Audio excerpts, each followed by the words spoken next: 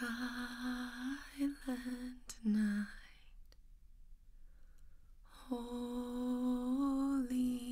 night, all is It's hard to watch something you love destroy itself, to see it fall apart.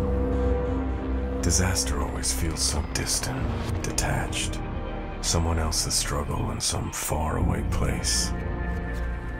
It's not until it's in our city, at our doors, that we realize how fragile we are. All of us. All of this.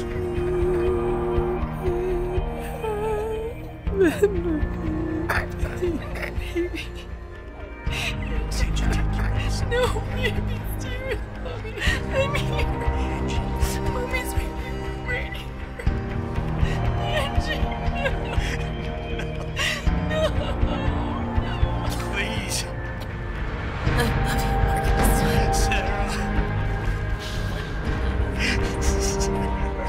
when it hit, when it came down, it came down hard.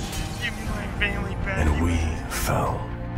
We buried ourselves in anger, fear, and the instinct to survive. I'm sorry, Sarah. I'm just not strong enough.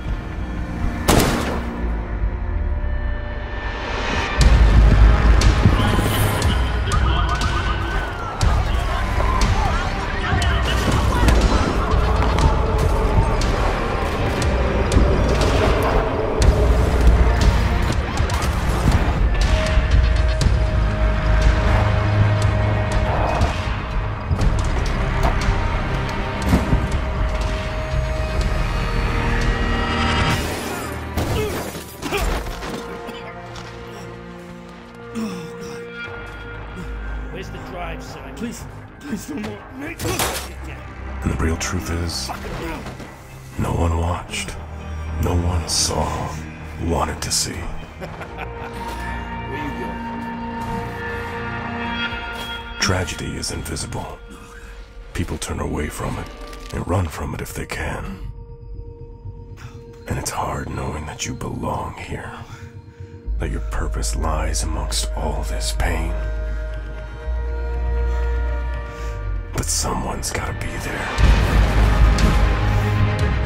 To pick it up. To push back. Put the first piece back together. Put us all back together.